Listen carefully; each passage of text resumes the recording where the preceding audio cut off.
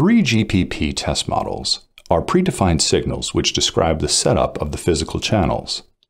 These predefined signals are used for base station transmitter testing or to characterize components like power amplifiers. All defined test models for 5GNR are available as presets in the corresponding generation and analysis options. On the analyzer, a clear, structured user interface guides you through the setup. In this example, we select an FDD test model 3.1 with 100 MHz bandwidth and 30 kHz subcarrier spacing.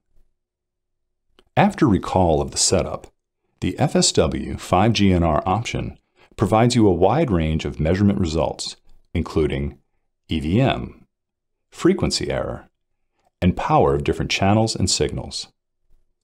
For more information, visit Rohde & Schwarz website.